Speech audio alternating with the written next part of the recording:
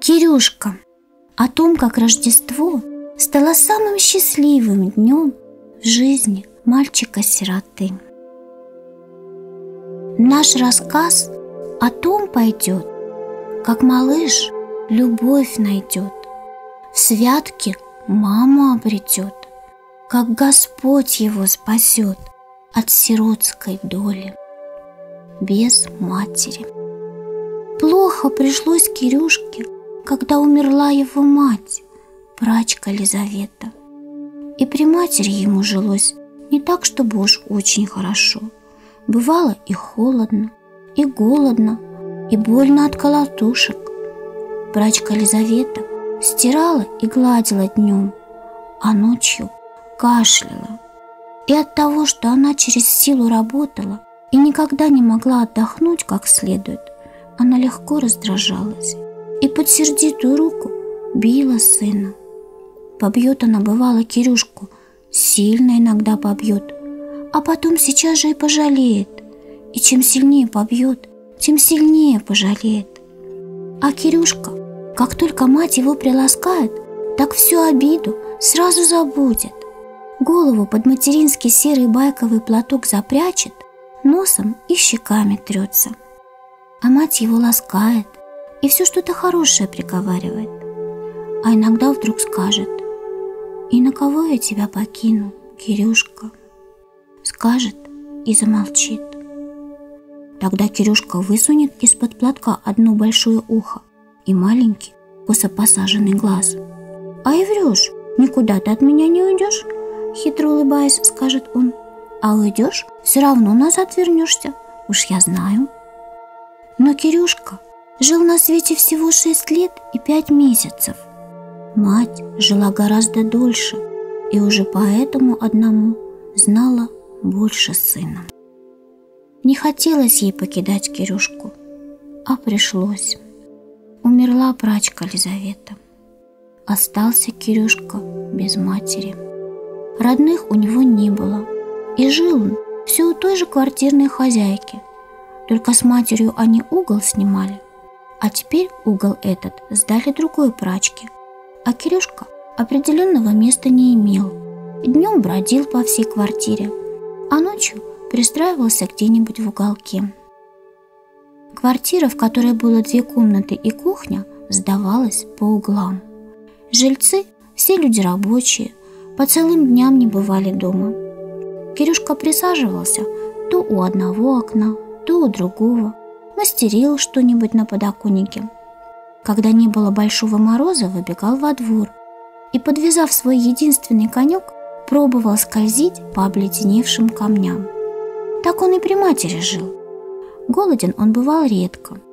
Кроме квартирной хозяйки, все жильцы старались выделить ему что-нибудь из своей еды.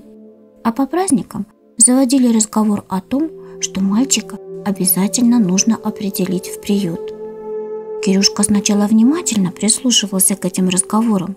Все ждал, что его в приют определять станут. А потом и ждать бросил. Понял, что все это так, разговоры одни. И всем тетенькам и дяденькам не до него. У каждого было свое дело, свои заботы и очень мало свободного времени, чтобы еще хлопотать о чужом ребенке. А Кирюшка был мальчик тихий, не шумливый, серьезный, никому не мешал, никому на глаза не совался. Подойдет, сядет смирнехонько и только смотрит да слушает. Говорил он совсем мало, и не столько от робости, сколько потому, что его никогда никто ни о чем не спрашивал. А когда Кирюшка начинал что-нибудь рассказывать, то тетеньки и дяденьки его плохо слушали, все больше о своем думали. Жила у них в углах Маня, девочка лет 12. Она в школу учиться ходила. Маня этой тоже не до Кирюшки было. Она, как и другие, о своем думала, ей было некогда его слушать. А девочка она была добрая. Огрызок карандаша ему подарила и синюю обертку от старой тетрадки. На чистой стороне этой обертки можно было рисовать. И Кирюшка рисовал, только недолго. Карандаш скоро истерся, а чинить никто не взялся. Ухватиться было не за что. Так Кирюшка и остался без карандаша. Отчего в праздник скучно? Время подходило к Рождеству. Стояли морозы, и на улице в дырявых валенках и летнем пальто было холодно. Приходилось сидеть дома, а дома было скучно. И особенно скучно делалось по праздникам, когда всем становилось веселее. Наступил первый день Рождества. Сквозь морозные узоры оконных стекон подвального этажа пробилось солнце, и зайчики заиграли по чисто мытому полу. В квартире все было по-праздничному. У кровати чистые ситцевые занавески повешены, столы и табуретки до бела вымыты, а перед образами лампадки теплятся. Жильцы в церковь ходили, хотели и Кирюшку с собой взять, да только мороз большой, а у него пальто летнее и валенки дырявые, так и не взяли. А как вернулись из церкви, стали каждый у своего столика кто чай, а кто кофе пить. Кирюшку везде угощали. Выпил он чашечку и у толстой торговки, что яблоками торговала. Выпил другую у той прачки, что занимала их угол, где он прежде с матерью жил. Манина мать и торговка швабрами его кофе напоили. Звали еще и другие, а только он больше не мог. Сказал «Благодарствуйте, тетеньки». И за обедом его все угощали. Плотно поел Кирюшка, да и жильцы поели плотнее, чем всегда. К празднику каждый себе мясное сварил. А как посуду убрали, все до одного спать полегли. Устали, от работы еще не отошли. Всем отдохнуть хотелось. Девочка Маня в школу ушла. Ей учительница велела прийти помогать елку убирать. Зажигать елку на второй день хотели. Кирюшка к окошку на табуретке уселся. Смотреть в комнатах не на что. Все за занавески попрятались, а из окошка тоже ничего занятного не увидишь. Окошко в подвале. Из него, если даже на самый подоконник влезть, от человека только сапоги да галоши увидишь. На дворе такой мороз, что и во всем теплом холодно. В голове у Кирюшки все мысли, да такие невеселые. Остался он при одном коньке – Мать к праздникам непременно второе обещала, да не вышло. И до сапог тех, что матери с господского мальчика подарили, Кирюшка все еще не дорос. Думал, дорастет к празднику, и тоже не вышло. Скучно прошел первый день, а как второй подошел, еще скучнее стало. Все жильцы собрались и в гости ушли. Кирюшка и сам любил в гости ходить, Прежде с матерью они часто ходили. Принарядится бывала прачка Лизавета. Вихры сыну частым гребнем вычешет, маслом голову вымажет, рубашку с-за пояса выправит и пойдут. А в гостях чай пьют, угощаются, разговаривают. Под разговоры чай легко пьется. Блюдечек не считают, только подставляй. Хорошо в гостях.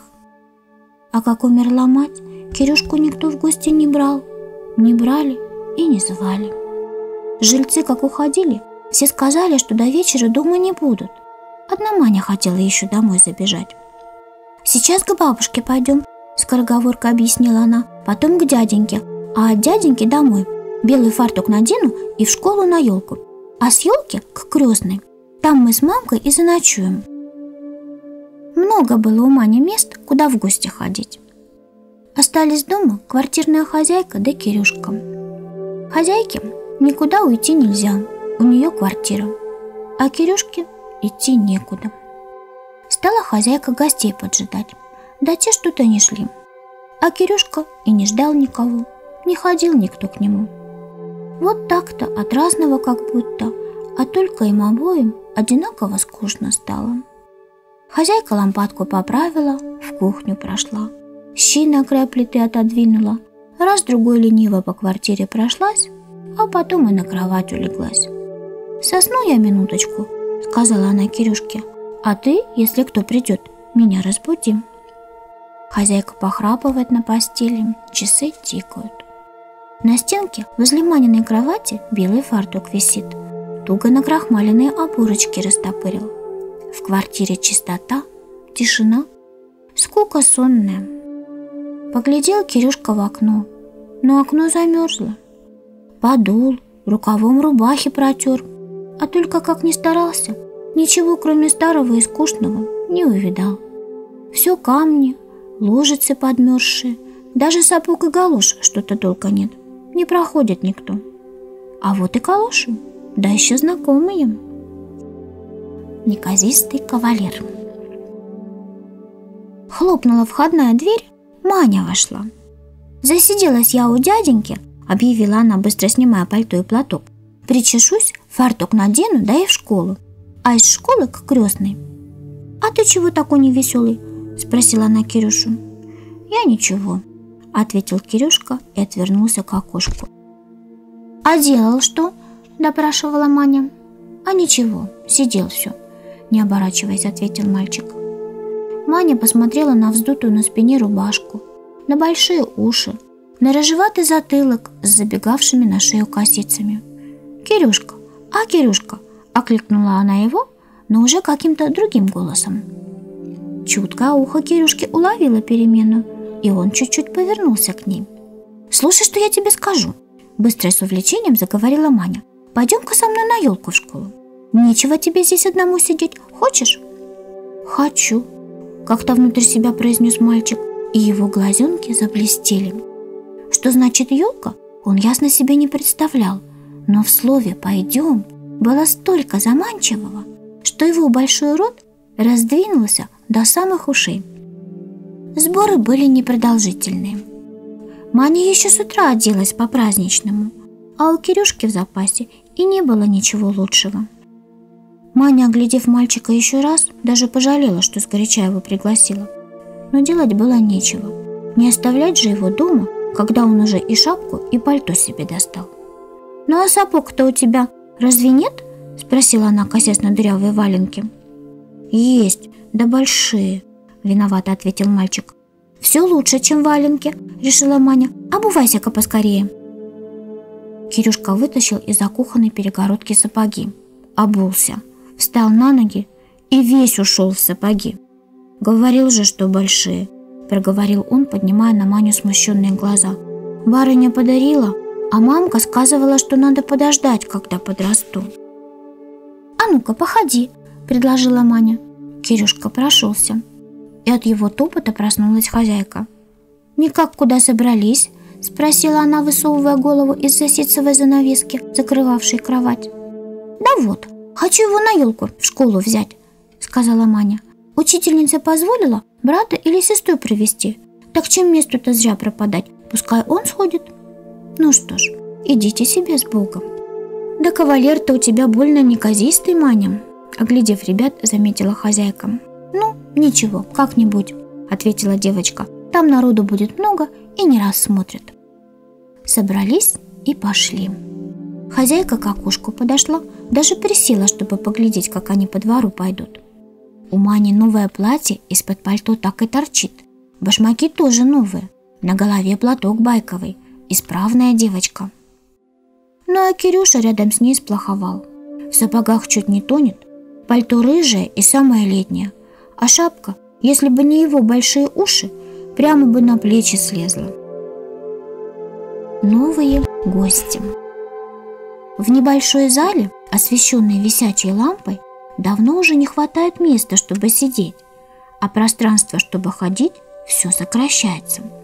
Почти никто не пришел в одиночку. Учительница позволила привести каждой ученице брата или сестру – но среди девочек нашлись и такие, что привели и брата, и сестру. «Ты что же это, никак троих привела?» – слышится вопрос. «Ничего не поделаешь, следом бегут», – виновато отвечает бледная девочка с рыжей косой. А из-за ее юбки выглядывают дети, похожие на испуганных и любопытных мышат. «А меня Аннушка с двоими на силу пропустила», – заявил кто-то из угла комнаты. Маленькие жмутся к старшим, прячутся в юбки, выглядывают из-за спин. Никто громко не говорит, но все гудят, точно пчелы в улье. И гуденье это разом смолкает при появлении новых гостей. Общее внимание на некоторое время сосредотачивается исключительно на них. Ишь, как расфронтилась, сапоги на пуговках, перешептываются девочки, разглядывая во все глаза входящую Лизу Расулову. Стуча каблуками и шурша под крахмаленными оборками, она бойко и с достоинством человека вполне в себе уверенного вошла в залу. Но не успела она поздороваться и с половиной собравшихся, как вдруг почувствовала, что уже что-то случилось. Она обернулась. В дверях стояла Люша Александрова, вся в локонах, желтых туфлях с помпонами, в красном шерстяном платье с широким голубым поясом. Такого великолепия никто не ожидал. Восторг, вызванный Люшей, захватил все общество. Но вот новые гости. В залу входила Маня со своим спутником. От смущения Кирюшка как-то еще больше ушел в свои сапоги. Эти сапоги и большие, покрасневшие от мороза уши прежде всего бросались в глаза. Пальто он не снял. Идти было далеко, он промерз, и Маня решила, что так, не раздеваясь, он скорее согреется. А жарко не будет, пальто летнее, все равно, что пиджак.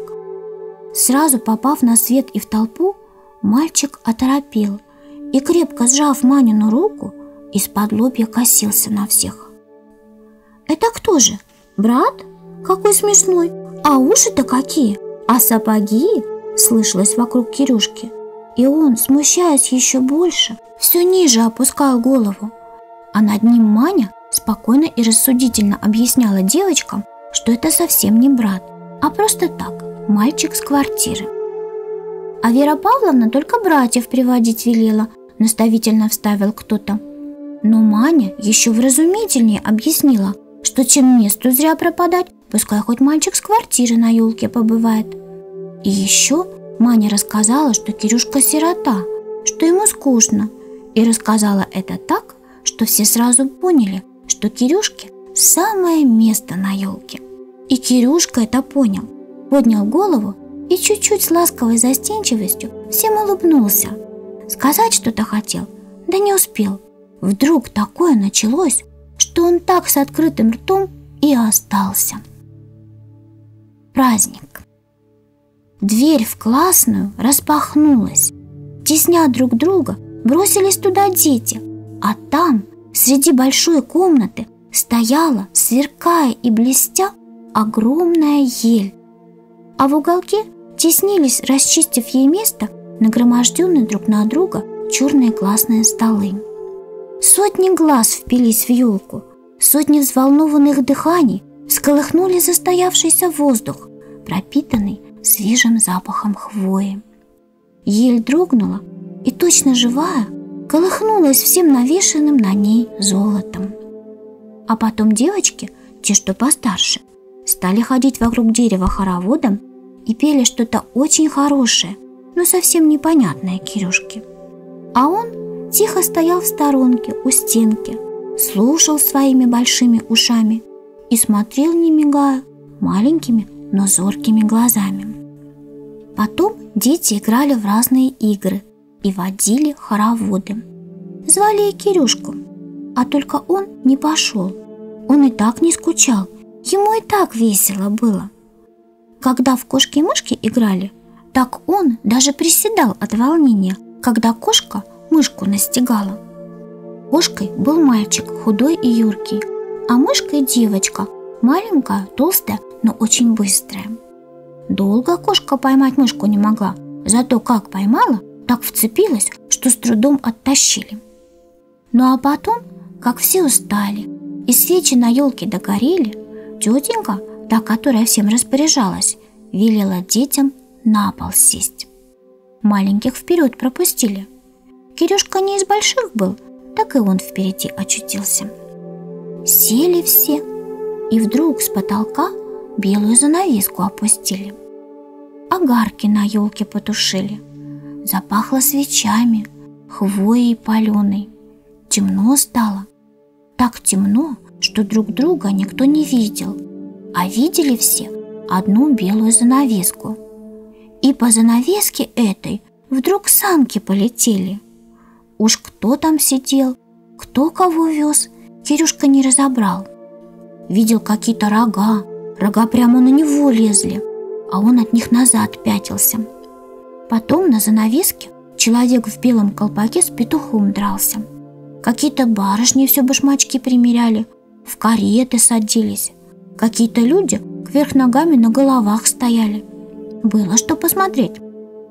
И все смотрели, охали, ахали, еще просили.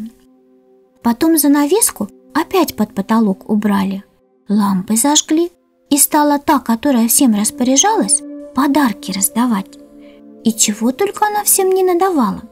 Комодики, шкафчики со стеклами, куколки, книжки с картинками, плиты с приборами, копилки, пеналы, корзиночки, посуда чайная. Всего у нее много было, а только все-таки всем не хватило. Мне, мне ничего не дали, а мне что же? Раздавалось кругом. Одна маленькая тогда же расплакалась. Самой стыдно, голову в сестрину юбку запрятала, а руку тянет. Плачет, да просит куклу. Ну, а у той, которая всем раздавала, уже нет ничего. Все, что на столе было, все как есть раздала, а кругом все просят. Отказывать ей, видно, не хочется. Велела тем, кто ничего не получил, подходить, а сама стала с елки все золото снимать. Снимает, да раздает. Подошел и Кирюшка. Точно ежик, застучал он по полу своими сапогами. Рыбку золотую ему дали.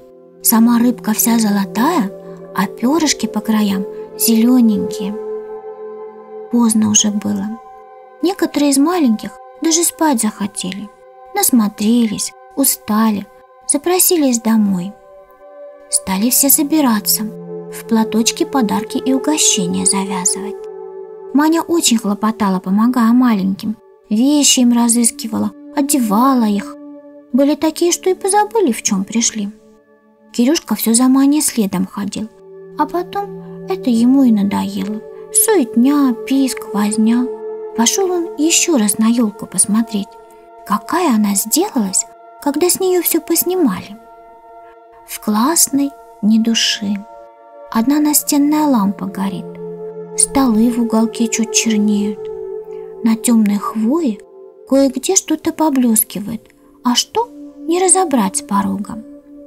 Шагнул Кирюшка, и захрустели под его подошвами ореховые скорлупки. Испугался он, оглянулся. Нет никого. Елка, да он. Подошел Кирюшка к самому дереву, стал вокруг обходить, пальцем хвою потрогал. «Вот она какая!» Тихонько про себя проговорил он и на пол в уголочке за елкой присел. Пускай думает, Маня сюда за мной придет. Лучше я здесь пока посижу, а то там теснота, давка. Хорошо здесь. Под елкой. Ушли последние гости. И Аннушка, школьная прислуга, заперев на крючок кухонную дверь, взялась за щетку и пошла класс подмести. Но в коридоре встретилась ей Вера Павловна. «Не надо, завтра все уберете», — сказала она. Так Аннушка и ушла обратно к себе в кухню. Вера Павловна осталась одна. В квартире тишина. После детского гамма кажется как-то особенно тихо. Тихо, одиноко, и скучно. Часы тикают, где-то обои трещат. Прошла Вера Павловна в класс, осмотрелась, не забыл ли кто чего. Нет, все чисто подобрали. На полу одни скорлупки да бумажки от леденцов валяются. И на елке ничего не осталось, кроме дождя. Каждый год собирается Вера Павловна спрятать украшения, чтобы не покупать их к следующему. И каждый год это ей не удается. Денег едва хватает на подарки одним ученицам, а отпустить с пустыми руками никого не хочется. Вера Павловна подошла к елке совсем близко. Остановилась. Стоит, смотрит, прислушивается. Странный звук. Точно сопит кто-то. Да, сопит. Вера Павловна заглянула за ель. Она была близорука и не сразу разобрала, что это за темный комочек на полу лежит. Наклонилась к комочку Вера Павловна и тогда только все разглядела. И маленького мальчика, и большие сапоги, и даже хвостик золотой рыбки, торчащий из зажатой руки. Но как низко не наклонялась Вера Павловна, как не всматривалась в лицо спящего, а все-таки не вспомнила, с которой из девочек она его вместе видела. У нее на елке столько гостей и столько хлопот было, что всех детей она рассмотреть не успела. И решила Вера Павловна не будить мальчика, пока за ним не придут. Прийти должны с минуты на минуту, потому что нельзя так ребенка забыть, чтобы о нем и не вспомнить. Сестра забудет, так мать или отец вспомнят и прибегут. Пускай спит себе пока мальчик. Может быть, он и сказать не умеет, где живет. Проснется, домой запросится, а куда его вести неизвестно. Нет, Пускай себе спит спокойно. Долго сидела над мальчиком Вера Павловна. Все ждала, но никто не приходил. Наступила ночь. А зяб Кирюшка, как шел на елку, насмотрелся всего, устал страшно и спал так, что и не слышал, как Вера Павловна его взяла на руки, раздела и уложила на составленные два кресла. Ничего не слышал Кирюшка крепко его сон взял. Утром, проснувшись, он долго не понимал, где он и что с ним. Все молчал, все из-под лобья заячьими глазками косился. Только как елку увидел, сразу все вспомнил. Понял, что это он на елке остался, и отвечать на расспросы стал. Рассказал Кирюшка, что пришел на елку с девочкой Маней, и что живет он в доме, где лавочка. Но в школе девочек, которых звали Манями, было много, а на улицах домов с лавочками и того больше. Вера Павловна и Аннушка хорошо поняли только одно, что некому торопиться искать Кирюшку, потому что матери у него нет. Потом Аннушка на целый день в гости ушла. Как хорошо вдвоем. Остались Вера Павловна и Кирюшка вдвоем. Пили они вместе чай, сладкий-присладкий. Булка поджаристая, свежая. А за чаем все разговаривали. Вера Павловна спрашивала Кирюшку, а он все рассказывал. Давно его так не расспрашивали, давно его так не слушали. И рассказал же Кирюшка все, что упомнил. И про второй конек, который мать непременно к праздникам подарить хотела – не забыл и про то, как его в приют определять хотят. Да все почему-то не определяют. Слушала Вера Павловна и вдруг точно заскучала. Кирюшка ей про свои сапоги говорит, объясняет, что не дорос еще до них, а сам все на Веру Павловну поглядывает. Заскучала, совсем заскучала, думает. «Вы бы, тетенька, в гости куда прошлись?» Вдруг предложил он. Удивилась Вера Павловна. Это зачем же ты меня в гости посылаешь? А так, потому что праздник. Чего же вам так-то сидеть? А что Аннушка ушла, так это ничего. Квартиру я постеречь могу, но меня часто оставляли. Рассмеялась Вера Павловна. Спасибо тебе. А только я в гости не пойду. Или не зовут? С участием поинтересовался Кирюшка. Совсем развеселилась Вера Павловна. Громко так рассмеялась. Сама говорит, не зовут, а сама смеется. Смеяться-то оно как будто и нечему, а она все смеется. Чудно.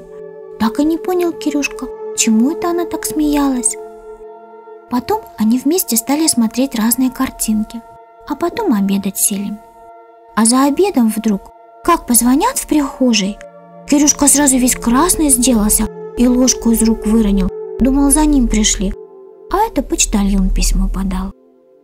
А как совсем стемнело, Вера Павловна елку зажгла. Кроме дождя ничего на ней не было, да и свечей было меньше, чем накануне. А только эта елка Кирюшке еще больше вчерашней понравилась. Он так и Вере Павловне сказал, а она, ничего не ответив, его на руки взяла и крепко к себе прижала. И так долго они, не говоря ни слова, вдвоем сидели. И слышал Кирюшка, как сердце стучит, А его ли сердце стучало или ее? Разобрать не мог. Так же это бывало, когда он под платок к матери забирался. И вдруг опять звонок. Еще больше, чем за обедом, испугался Кирюшка. Весь даже затрясся и разом на ноги стал. На этот раз уж это за ним пришли. Да не одна Маня, а с квартирной хозяйкой. Приютили. Хозяйка, как увидала Кирюшку рядом с Верой Павловной, так сразу креститься стала. А я думала, замерз, он говорит. Ну а потом кричать на Кирюшку начала, забронилась. «Ах ты такой секой!» говорит.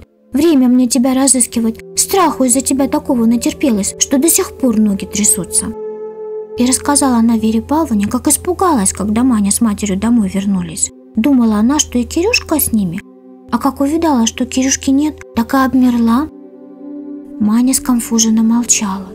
Дома ей уже ото всех попало, да и перед Верой Павловной стыдно. Всегда ее в школе за исправную девочку считали, а вдруг такая неприятность вышла. Уж нечего сказать, хороша, стыдила Маню хозяйка, ведь этакая обуза на шее. Нет уж, покорно благодарю, вот только дождусь, как праздники кончатся, и прямо тебя, батюшка, до греха, без всяких разговоров в приют. Тетенька была взволнована и сердита, и слово «приют» выкрикнула как-то зловеще. Кирюшка изо всех сил сжал руку Веры Павловны и прижался к ней всем телом, а тетенька командовала «Живо одевайся, некогда мне здесь с тобой прохлаждаться». У Кирюшки даже сердце остановилось, а ноги точно приросли к полу. Такими ногами сапог ни за что не поднять, а идти нужно. И вдруг слышит Кирюшка, «Мальчика я пока у себя оставлю. Некогда вам о нем хлопотать, а мне и в приют его легче пристроить, чем вам». Это Вера Павловна говорит, а хозяйка ничего, не спорит, отдает, значит. А только Кирюшка, пока дверь на крючок не заложили, все не верил, что его не заберут. Потом за руку они вдвоем пошли опять к елке. «У тебя, значит, я жить буду, что ли?» – тихонько спросил Кирюшка. «А?» «Да, у меня будешь жить», – ответила Вера Павловна. Хотела она еще одно слово «пока» прибавить. Но в эту минуту догоревшая свеча подожгла хвою. Вера Павловна бросилась тушить. Так этого слова она и не сказала.